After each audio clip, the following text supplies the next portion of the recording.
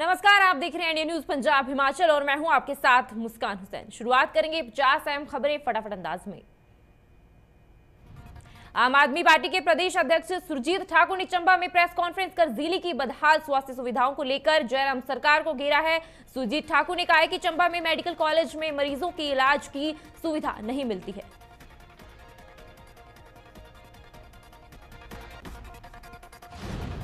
Medical college मात्र refer अस्पताल बन गया है, जहाँ आने वाले मरीजों को शिमला या टांडा रेफर कर दिया जाता है। मेडिकल कॉलेज में अल्ट्रासाउंड मशीन तो है, लेकिन गर्भवती महिलाओं को दो दो महीने बाद की डेट दी जा रही है, जो दुर्भाग्यपूर्ण है।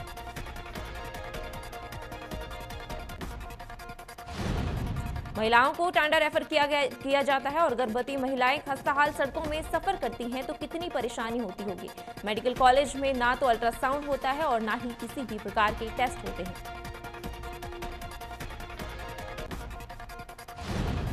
सुरजीत ठाकुर ने कहा कि आगामी विधानसभा चुनाव में एक मौका आम आदमी पार्टी को दें ताकि दिल्ली मॉडल पर चंबा के लोगों को बेहतर स्वास्थ्य सेवाएँ मिल सके।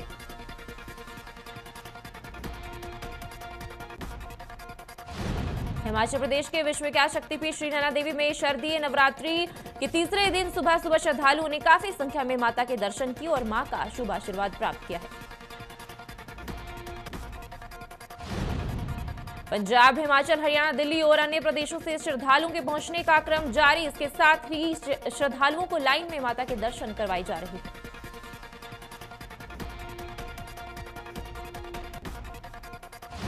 हिमाचल के जिला कुल्लू के निर्मण खंड के ब्रो थाने के तहत गोसाई एडिट के पास मारुति कार सतलुज नदी में अनियंत्रित होकर जा गिरी। चालक की पहचान राजकुमार जिला कुल्लू के निवासी के रूप में हुई है।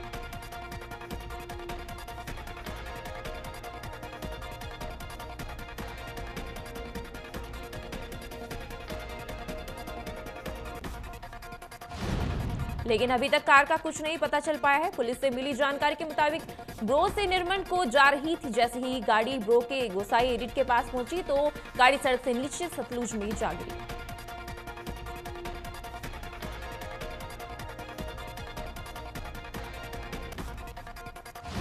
पूर्व मंत्री मेजर विजय सिंह मनकोटिया द्वारा कांग्रेस के सीनियर लीडर्स पर लगाए गए आरोपों के चलते कांग्रेस, ओबीसी प्रकोष्ठ व धर्मशाला, यूथ कांग्रेस ने मनकोटिया पर पलटवार किया है।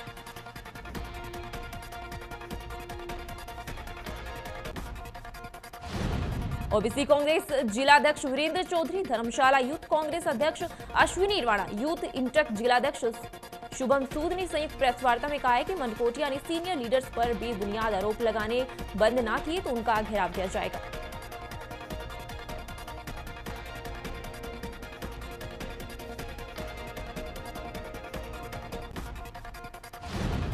प्रधानमंत्री नरेंद्र मोदी के 5 अक्टूबर के बिलासपुर दौरे को लेकर बिलासपुर नगर के लुहनू मैदान में जनसभा का आयोजन किया जाएगा। जनसभा में एक लाख लोगों को लाने का लक्ष्य भाजपा ने निर्धारित किया। है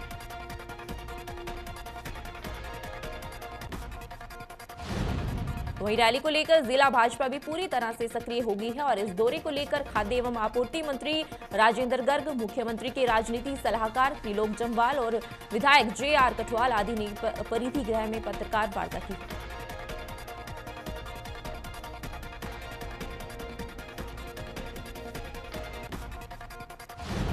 कांगड़ा से सदर विधायक पवन काजल ने प्रदेश के गग्गल एयरपोर्ट के विस्तारीकरण को लेकर फिर से सवाल खड़े किए हैं।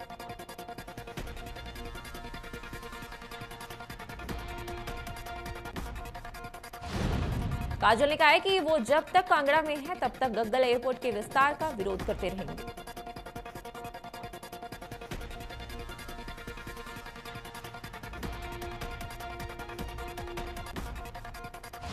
इसके साथ ही उन्होंने उन कहा है कि उनकी ओर से लगातार सुझाव दिया जा रहा है कि गग्गल एयरपोर्ट को फ्लाइंग स्कूल में तब्दील करके बोर्ड कुआलू में सैकड़ों एकड़ बंजर ज़मीन पर एयरपोर्ट बनाया जाए।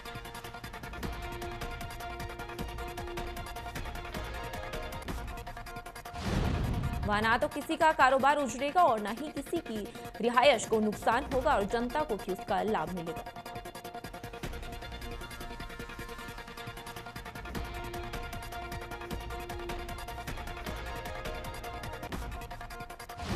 दसोरा माजुरा खड के खड में भई सुरक्षाकर्मी का शव तीसरे दिन बद्दी बेरियर के पुल के नीचे से फंसा हुआ मिला है। शव पानी के तेज बहाव में करीब आठ किलोमीटर दूर पहुँच गया था।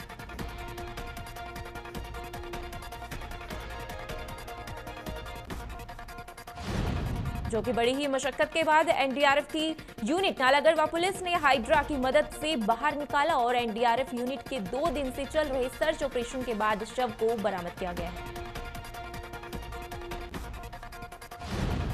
केंद्रीय मंत्री अनुराग सिंह ठाकुर ने सलोनी में आयोजित कार्यक्रम में बटसर तथा भोरंज विधानसभा क्षेत्र के लिए साढ़े सत्रह करोड़ के उद्घाटन एवं शिलान्यास कर जनता को समर्पित किए हैं।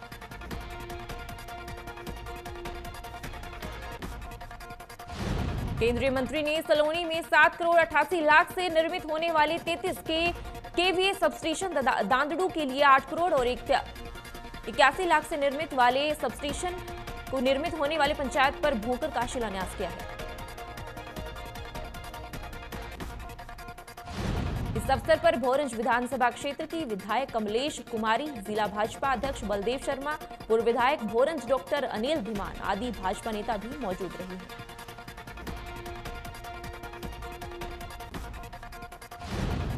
मंडी जिला के चंडीगढ़ मनाली नेशनल हाईवे इक्कीस पर पंडोह में तृतीय आई, आईआरबीएन बटालियन के गेट के समीप बड़ा हादसा हुआ है। हादसे में नैनो कार में सवार एक व्यक्ति गंभीर रूप से घायल हो गया, जिसे स्थानीय लोगों व एसडीआरएफ के जवानों की मदद से जोनल अस्पताल मंडी पहुँचाया गया, जहाँ उसका उपचार जारी है।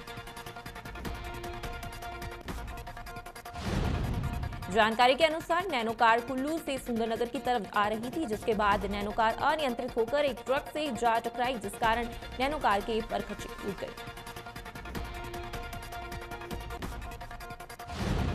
केंद्रीय विश्वविद्यालय हिमाचल प्रदेश द्वारा विश्व पर्यटन दिवस के उपलक्ष्य पर विश्वविद्यालय परिसर में भव्य कार्यक्रम का आयोजन किया गया। कार्यक्रम की शुरुआत एंटर एग्जीबिशन के साथ की गई और इस प्रदर्शनी में तेरह लघु उद्यमियों ने भाग लिया।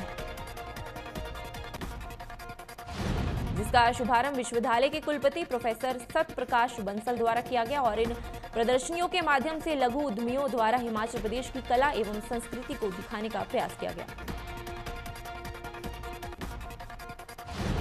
इसी के साथ ही विश्वविद्यालय में स्टेक होल्डर वर्कशॉप का भी आयोजन किया गया, जिसमें लगभग 19 स्टेक होल्डर्स ने भाग लिया व हिमाचल में पर्यटन को और अधिक बढ़ाने के विषय में चर्चा की गई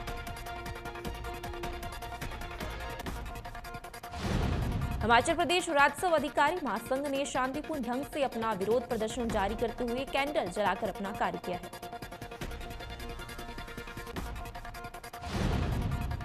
हिमाचल प्रदेश राजस्व अधिकारी महासंघ के प्रदेश अध्यक्ष जय गोपाल शर्मा ने श्री नैना देवी में पत्रकारों से बातचीत करते हुए कहा है कि सरकार के अड़ियल रवैये के चलते उन्होंने अपना रोष प्रदर्शन जारी रखा है।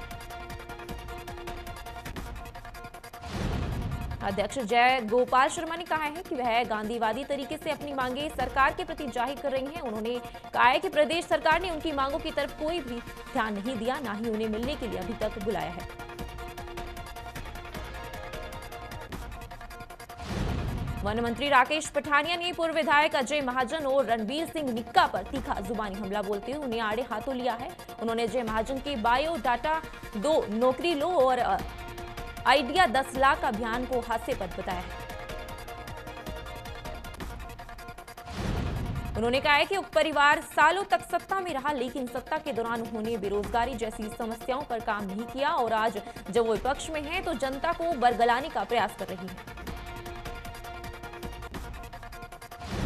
इसके साथ ही पठानिया ने कहा है कि वे दिन में ऐसे सपने दिखा रहे हैं जो कभी पूरे नहीं किए जा सकते। उन्होंने कहा है कि जहाँ यह लोग बायोडाटा मांग रहे हैं, वहीं प्रदेश सरकार बल ड्रग्स पार्क प्रोजेक्ट लेकर आ रही है, जहाँ हज़ारों युवाओं को रोज़गार मिलेगा। जिला सिरमौर में लंपी वायरस रोग की चपेट में आने के बाद करीब 800 पशुओं ने दम तोड़ा है, जबकि वर्तमान में पाँच पाँच हज़ार से ज़्यादा पशुओं इस रोग की चपेट में तो उधर जिला प्रशासन लंपी वायरस रोग पर नियंत्रण पाने के लिए कार्य कर रही है। मीडिया को जानकारी देते हुए डीसीआर के गौतम ने बताया कि जिला में करीब पंद्रह हज़ार पशु वायरस की चपेट में आए हैं, जिनमें से सात हज़ार पशु ठीक हो चुके हैं, जबकि वर्तमान में पाँच हज़ार पशु वायरस की चपेट में हैं। अब ऐसे में पशुपालन विभाग इन पशुओं को रोग मुक्त करने के लिए कार्य कर रही है। वहीं डीसीआर के गौतम ने कहा है कि लंबी रोग के मामले में लगातार गिरावट आ रही है। पहले जहाँ प्रतिदिन 500 मामले सामने आते थे तो वहीं अब यह संख्या घटकर 300 रह गई है। इसी दौरान उन्होंने जिला प्रशासन द्वारा पंचायत प्रतिनिधियों से भी इस मामले में सहयोग करने की अपील की।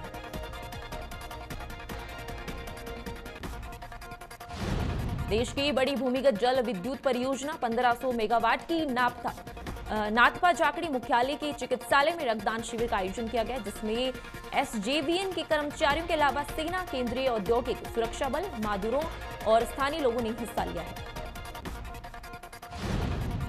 हिमाचल और केंद्र सरकार के संयुक्त उपक्रम एसजेवीएन के अधिकारियों ने बताया कि ऐसे आयोजनों से लोगों में सेवा और सहयोग की भावना तैयार करना, उन्होंने बताया कि इस रक्तदान शिविर में निगम कर्मचारियों के अलावा सेना और स्थानीय समुदाय ने भी बढ़ चढ़कर हिस्सा लिया है। प्रदेश सरकार द्वारा सराज विधानसभा क्षेत्र के हज़ारों लोगों को एक बड़ी सुविधा उपलब्ध करवा दी गई है। नेशनल हाईवे इक्कीस चंडीगढ़ मनाली पर स्थित हंडोली से सराज क्षेत्र के खोला नाला के लिए बनाए गए हंडोली पुल को सीएम सीएम जयराम ठाकुर द्वारा जनता को समर्पित कर दिया गया है। बता दें कि जिला मंडी के हड़ोगी खोला नाला के बीच ब्यास नदी पर निर्मित केबल आधारित स्पेन ब्रिज सराज विधानसभा क्षेत्र के लिए लाइफ लाइन के तौर पर तैयार करेगा।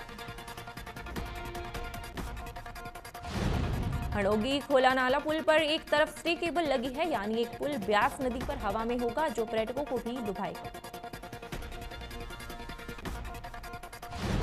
प्रदेश सरकार में कैबिनेट मंत्री डॉक्टर रामलाल मारकंडे ने दो दिवसीय स्पीति दौरे के दौरान लोगों की जन समस्याएँ सुनी है।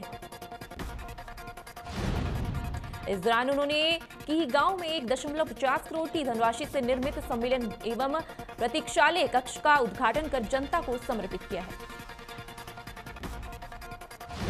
इस भवन के बनने से चार पंचायतों को लाभ होगा। इसके साथ ही 20 लाख रुपए की राशि से निर्मित काजा टैक्सी ऑपरेटर यूनियन के कार्यालय भवन का उद्घाटन किया है। काजा में औद्योगिक विशेष कार्यक्रम में मुख्यमंत्री गृहिणी सुविधा योजना के तहत 21 लाभार्थियों को गैस कनेक्शन दिया गया और प्रदेश सरकार की यह योजना गाँव वासियों के लिए वरदान साबित रही है। विश्व का विश्वविख्यात शक्तिपीठ श्री नैना देवी में प्रदेश के राज्यपाल राजेंद्र विश्वनाथ और लेकर ने माता की पूजा अर्चना की और माता का शुभ आशीर्वाद प्राप्त किया। है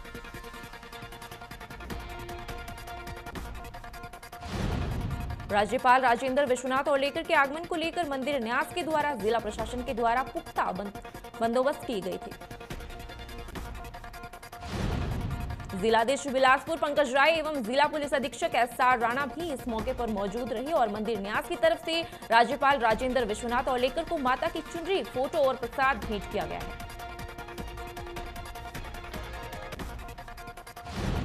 फ़िलहाल के लिए बस इतना ही। तमाम खबरों के लिए देखते रहिए इंडिया न्यूज़ पंजाब, हिमाचल। नमस्कार।